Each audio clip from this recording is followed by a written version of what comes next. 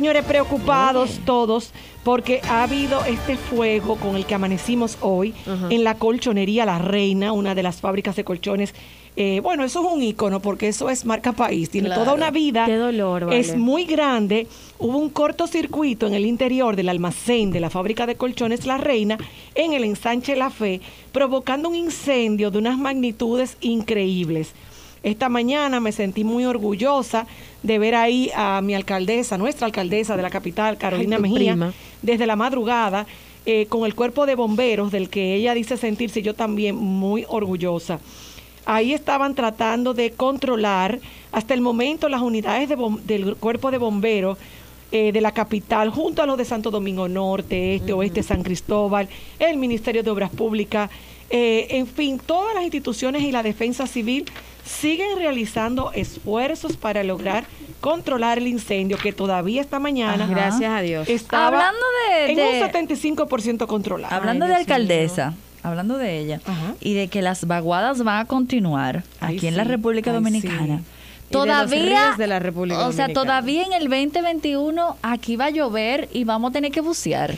Particularmente aquí, en la plena 27 de febrero, yo nunca había visto eso. Lo- vamos a denunciarlo públicamente. Señores, todas las calles Señores, de Naco, Bellavista, Piantini. Frente al área donde está Ron Depot y donde está el edificio Manuel Arsenio Ureña, se hizo una piscina, no le estoy mintiendo, No, que fue el un lago, fue un Es que una piscina. lados, no yo le tomé foto. No, no, es verdad, pero también pasa en Arroyo Hondo, por Y donde en yo vivo. Evaristo Morales. O sea, en. Arroyo Hondo, por donde yo vivo. Entonces, se una tranca, pregunta, se debe- ¿Sabes, tú Una sabes por pregunta qué para- colapso también, ¿no? Lamentablemente, señores, es que el urbanismo en la República Dominicana, en Santo. Domingo específicamente, No como ha crecido, ha crecido tanto, no hay planificación. Exacto. Se están otorgando toda una cantidad de permisos para construcción y ni siquiera están viendo cómo sí, dónde se puede construir y dónde no. Eso por pero el tema cantidad de los parqueos, ¿Tú pero- sabes quién es, quién es que da los permisos? Ayuntamiento. Ah, ok. Por Entonces, otra pregunta. ¿Cómo quieren? Porque ahora están ciclovía, ciclovía, ciclovía, ciclovía, ciclovía, ciclovía. El ¿Cómo quieren hablar de ciclovía cuando aquí tú no puedes andar en bicicleta porque si llueve tres gotas, No te vas a ahogar. te ajoda, mi amor? No, Hola, se ahogó. al borde. No, miren, fuera de relajo. Ayer vi un carro que se. A mí no me dio hables de ciclovía. en un puente. Muy en rosa, un- muy rosa. ¿Cómo se llama? Eh, cuando- lo de- en un desnivel. Entonces tú no puedes Un tener carro. Ay, sí que se quedó. Yo Que lo se- vi. no, no, no, que se hasta el techo y la gente se tuvo que subir al techo. ¿Dónde? Ahí en el, el puente de la, del elevado quinto centenario, cuando baja la Tunti. Claro. Es muy viejo en la vida. Y una pregunta, mana. Ese Por ejemplo, si a mí se me ahoga mi carro en el medio de la calle, llamo a Carolina para que me lo cambie. Pero tú estás Pero loca. espérese, no me ataquen Es a Carolina, que no, ella acaba de que- es que- entrar. es Dámele que- un break. Ay, y- un año. Mira, eso primero, tú sabes que tú te jodiste, ¿verdad? Ay, El ayuntamiento no te va a resolver eso. Eso es un problema viejo que tenemos aquí. Y nosotros, los ciudadanos, somos muy culpables por Aparte, basura, claro que No, el tema de la basura es lo que hace que se hagan esas Entonces, piscinas. todo se complicado. ayuntamiento de ningún pueblo aquí ah, tiene un, un programa de limpieza de invernal y eso es grave. Ok, Y eso pero- lo tienen que hacer. Mana, yo te voy a decir algo. Yo vivo en una calle. Yo vivo en la Rafael Hernández, y lo voy a decir. En esa calle, gracias a Dios, es una calle casi sin salida. Muy y privada. todos los que viven ahí, en Naco, en la mayoría, son Edificios. propietarios y son edificios. Yo tengo un vecino que es pelotero, gente que, que, que dale educada. para allá. Qué educada, tú quieres decir. Yo camino todos los días a mi perra en la calle y no hay basura, no, Pero, hay basura amor, en la calle. ¿Qué tú acabas de decir? Que es un sitio de gente educada. Pero lo que te quiero decir es que en mi, eh, en mi calle no hay basura y se ahoga sin duda. Gaby, Gaby, porque se la- ahoga. pero escúchame, Claro. lo que pasa, mi amor, es que solamente es tu calle. Yo te apuesto que las otras calles que te están rodeando, No, si la lo hacen. también. Es más, yo soy vecina de Nuria. No, del pero escúchame, pero que ahí, hay una avenida grande. Que siempre pasa. Calma, gallinero, calma. Hola. Chica, lo que pasa es que es una cuestión de educación, no es simplemente que si trabajen o no trabajen, es que a veces tú ves la gente que bajan su vidrio y tiran la basura. Sí, y señor, unos cochinos que Y son. entonces, lamentablemente, siempre va a haber esa situación. Otra cosa, eso que ella comentó de la tunting, eso es viejísimo. Incluso cuando yo estaba niña, mi mamá me cuenta que una familia entera se ahogó ahí. Ay, ahí fue que el se- señor se metió Ay, pensando que era más que no era tan hondo. Mira, yo me y la acuerdo de se eso. ahogó, la esposa, el esposo y Ay, los dos Dios. hijos se ahogaron. Yo me era acuerdo, cuando eso. me acuerdo, me acuerdo como eso. Eso- Candy, tú te tienes que acordar, eso fue ¿Hace- una cosa. hace mucho- cuánto? Yo era una carajita también. Y mira, eso, eso movió el piso al país entero. Una familia entera en un desnivel atrapados por un aguacero, punto, se murieron. Pana, pero miras tú, Pero o sea, en este mismo sitio que estamos hablando, yo vi el carro en un video hundido donde tú sabes dónde se subió la familia, era una pareja. Sí, Al en el techo. buscar que lo Pero, pana, eso es lo que te estoy diciendo. Estamos hablando de No, no, que no, tú eres sí, una criatura. Sí, sí, pero es verdad, es un programa, un, pro- un problema Ay, viejo, tiene que ver con la basura, tiene que ver con la educación, con la planificación, vale. con los problemas de las calles, todo eso es verdad, pero tenemos que priorizarlo. Tenemos que priorizarlo porque alguien tiene que empezar a priorizar algo que nos cuesta mucho dinero y nos trae pérdida incluso de vidas. Mira, yo te digo algo, y Carolina pero me parece- definitiva, pero espérate, para terminar. Ahora, Gaby, definitivamente, no importa si empiezan de cero a reconstruir la ciudad, si no cambiamos los habitantes, nuestro nivel de conciencia eh, ciudadana, que no, no, no tenemos, Ok, pero vamos a hacer algo. Vamos no a decir, va a cambiar nada. Ingrid, vamos a decir que el dominicano es voto.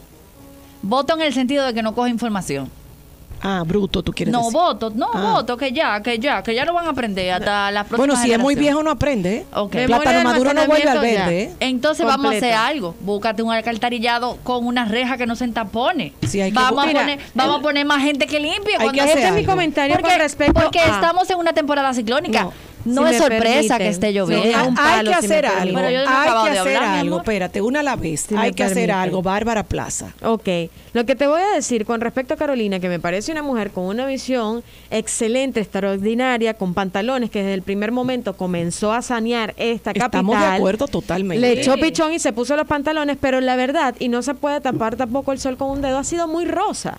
Muy rosa. ¿Cómo Rosa Fresa, tú quieres decir? Claro, el término parquecito, medio. la pinturita, la vainita. Aquí hay muchas cosas. Aquí hay ¿Y muchas tú crees cosas. que lo puede mamá. hacer todo en un año, mi No, amorcito no, mi lindo? negra, no estoy lo importante criticando. y deja de pintar patio. Pero mi negra, no, no lo tomes como que le estoy criticando y la estoy acribillando, porque por eso resalté lo buena que es una mujer con visión, responsable y ¿Tú que entiendes que tiene que pero meter mano dura con estas cosas? Claro. Bueno, al borde, hola, me encantaría que nos llamen y nos cuenten su situación por sus Ingrid, barrios. cuéntame algo. Mi amor, Cuéntame, ¿cómo estás? hola mi vida, Bien, bien. Gracias a Dios. Te quiero mucho, ¿oíste? Amén. Qué lindo. Ay, vámonos a la pausa. Ay, déjame ah, no, de- espérate. No, No, no, pero- vale, falta no. No primero, sé. pero ya que estamos Pero hablando de espérese, agua, déjeme darle la gracia porque tú sabes lo lindo que a ti te llaman nada más para decirte una es cosa verdad, linda. mi amor, dile. Ah, Gracias, mi amor. te quiero mucho, Yo las Bárbara. quiero mucho. Lía Miranda, las quiero. Candyman, tú eres mío de mi corazón. Eric, Carolina, te Eric, queremos. ya yo te quiero. Carolina Mejía, te Y queremos. más, señora, aquí está todo el mundo vacunado. Yo tengo una emoción, señores. Ok. Vilma, Evelyn, las quiero.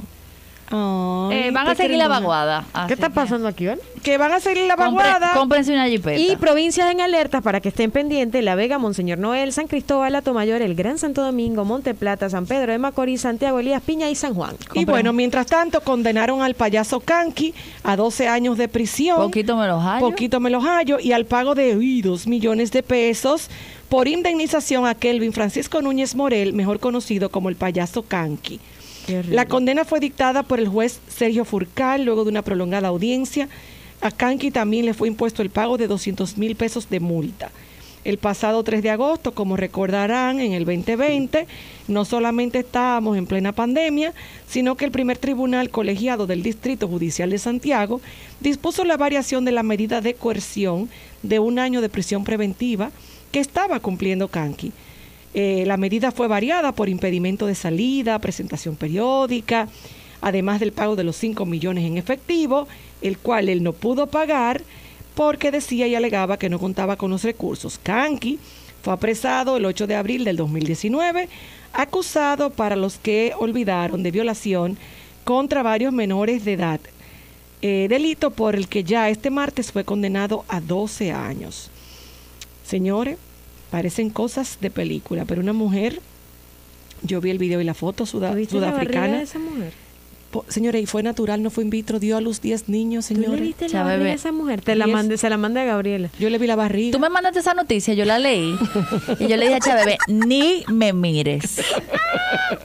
La barriga, por Dios, es más, los invito a que la busquen. Señores, porque yo, con toda, esta, con toda esta proteína que me bebo y estos jugos y, y este, esta pimienta de cayena que yo me meto todos los días, ahorita salgo con yo. sal del Himalaya. Ahorita salgo yo con 15. 10 niños, señores. Una, vi- o sea, sepa. vía normal, no de que in vitro, no de que no, no, no, no. Y parió, mi amor, así. 37 añitos Y nacieron con 29 semanas, señores, o sea, en su octavo mes, lo cual no está mal para 10 niños. Fueron 7 varones. Y yo no lo Así puedo- estaba. Señores, yo lo estoy leyendo, yo no lo puedo creer. Sácalo de aquí ya. Siete niños y tres niñas.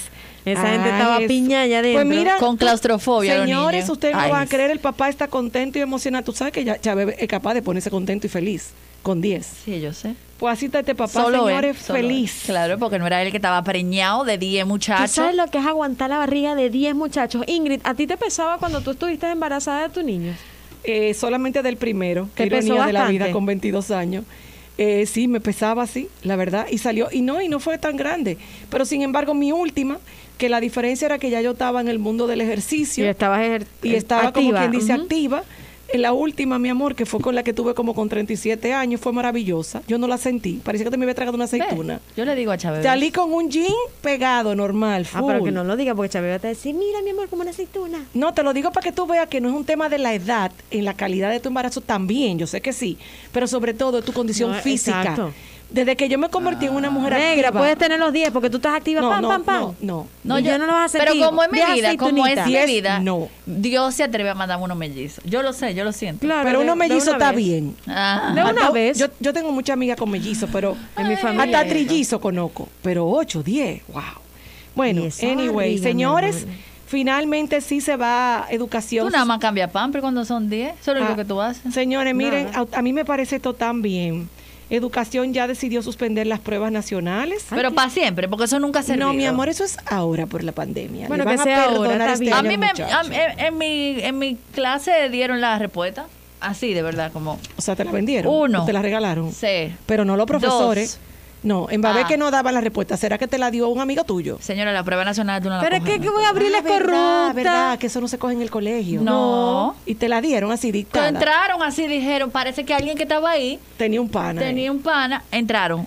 Tres. Señores, la corrupción, tú te Cuatro. Pero tú de tienes toda la vida la tu lado, corrupción mi amor, aquí. y tú lo sabes. Ay, ¿qué yo iba a hacer? Iba a decir, no, me voy a parar, no quiero escuchar las respuestas. Bye. Tápate. Señores, ustedes ven que todos los, orejas de pescado. todos los artistas se unieron en una campaña de vacunación con el COVID-19. Quiero que sepan que esos artistas no estaban cobrando.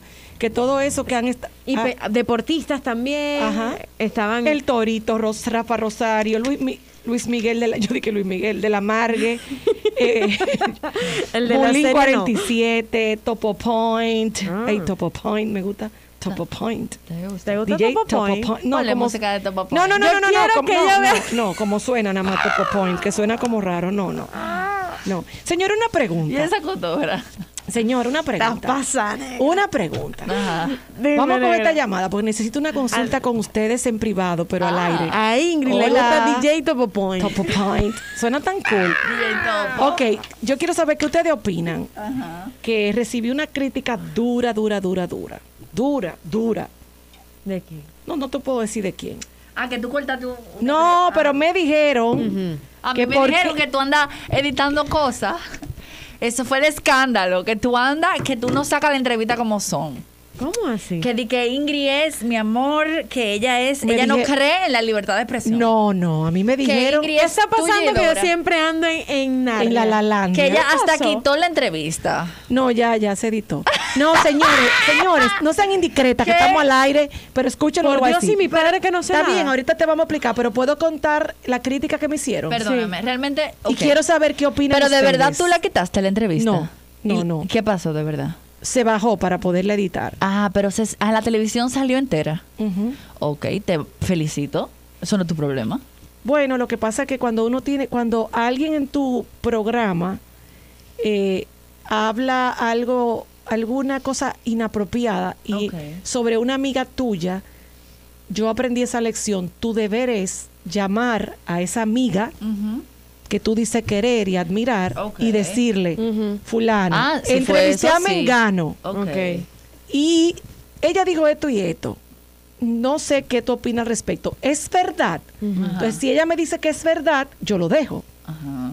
Pero si no es verdad, no Pero, debo dejarlo. eh, puedo entender por qué lo haces. y yo te digo la verdad, lo, lo hice porque cuando es una figura que tú admiras y quieres y te llama como amiga y te dice, fulana, debiste consultarme porque tú y yo somos, incluso tenemos casi familiaridad en común. Entonces yo lo hice al borde, hola, y no voy a decir nombre, así que no insistan, ni lo suelten Hola, ustedes. Gaby hola, mi you, amor. Ingrid love Mi you. amor. Love you more, baby. Mira, mi amor, yo te vi la entrevista, me encantó, te iba a llamar para felicitarte, pero ahora yo no sabía que se había editado no. Tú tenías que tirar eso como era, no importa, de quien sea tu amigo o no sea tu amigo. Óyeme algo, tú que la viste, no, ay, se la llevaron, no te la, oye. Quiero saber, ojalá que ustedes la hayan podido quieres ver. que te diga lo no, lo que- que yo quiero que ustedes me digan, si ustedes entienden que, que yo que yo no debo darle voz a una persona porque yo entienda que no tiene los valores, eh, Lo- tus valores. mis mismos valores. Pero es que entonces tú no serías una entrevistadora, Ingrid. o sea, tú entiendes que Dependiendo de la plataforma. bueno, estamos hablando de la plataforma mía de Por eso. televisión. Ingrid, por o sea, ustedes o sea, entienden que que, está no- mal que por yo ejemplo, entreviste gente Si yo te llamo y me, dicen, mira Ingrid, me acaban de decir que el Chapo quiere una entrevista contigo. El Chapo. Ajá. Mujeres al borde. Es mujer al borde. ¿Y qué es lo que va a decir Yo- Ingrid Gómez, Mujeres al borde con el Pero Chapo? espérate, una yo te- entrevista, una entrevista, pues eh, eso es lo que yo quiero el saber. Chapo no tiene tus Entonces valores. no te sientas mal. No, yo sí me sentí muy mal. Al borde bueno. No, no, porque- no, no te dejes, no te dejes. Hola. Hola. No puedo ¿Puedes tomar la línea, mi amor? Vámonos a la pausa, pero no te dejes. Hola. No, no, Sí, no mi tiene que- opinión es, Ingrid, que cuando tú llevas un invitado, tienes que darle voz porque todo el mundo sabe quiénes son esas personas. O sea, que se Pero que expresen. ¿Tú mucha- me entiendes? no importa pero- a quién afecte. pero- es pero- lo que yo creo. Ingrid, tú y yo hemos aprendido en este programa que no todo el mundo es bueno y malo. Todo el mundo tiene luces y sombras. Y todo el mundo tiene una historia que contar y algo de lo que podamos aprender. Y tú haces un trabajo loable, que para mí es, Y valioso y muy que para mí es tomar a veces figuras que quizá las personas no conocen su lado humano y dar a conocer Mostrarlo. esa historia. Así, así es la intención con la que yo lo Y he ¿Y hecho. esas ya? mujeres al borde. Porque es buscar mujeres con historia, que no siempre tienen que ser mujeres perfectas o que parezcan perfectas, porque ninguna somos perfectas. Nadie, mi amor, y a veces las que quieren ser la más fina y la más seria ¡Oh! son las más rancan can can. Pero, pero sí, medio mundo. Lo que sí me voy a quedar de la lección aprendida es que uno tiene a sus amigos que darle el beneficio de asegurarte de que lo que se diga sea cierto. Mira, Barbara Waters, que es la periodista que yo La más amo admiro. con mi vida. La que yo más admiro. Y Se también. Christian Amanpour, que son dos toletes. qué- wow, Ok. qué dura esa. Eh, yo he leído sus libros, he visto sus conferencias. Ella lo que hace es lo siguiente. Ella puede entrevistar y ha entrevistado a los a los violadores más grandes, Desde lo más grande hasta a lo los más asesinos chiquito. más ¿Y grandes. cómo manejan esa parte? Sencillamente ellos entrevistan ese lado y después le dan la oportunidad al otro lado que dé su versión. Si quiere el otro lado dar su versión, tú te ves con... con Sirviendo plata tu, tu plataforma sirve para mostrar Claro. las dos caras de la o moneda. sea, si a ti van a tu programa y, y me, y me rellenan como un keeper, no lo corte. Mejor llámame, que yo en el próximo programa tuyo doy mi versión sin ningún problema. Bueno. lo que tú nunca puedes dejar atrás y dejar de ser lo que es Ingrid Gómez en lo que cree para justamente estar a la altura o al lado de una persona que tú piensas que no. Ese es el trabajo periodístico. Es bueno que ustedes sepan algo. Cuando yo, he hecho, cuando yo he hecho entrevistas que parecen atrevidas por lo conservadora que yo he sido siempre, no significa, en mi caso, que mi propósito sea, ah, no, ahora ella quiere entrar a competir eh, para buscar eh, sonido. Porque ustedes saben que a mi edad nadie cambia, ¿verdad? Y que tú eres una Mi estrella que esencia no permanece. necesita. Ahora, si solo ven el claro corte eso. que se viraliza, puedes decir cualquier cosa. Pero si ves la entrevista entera, creo que tú vas a poder ver mi propósito. o ¿O tú no? lo puedes... Para soñar.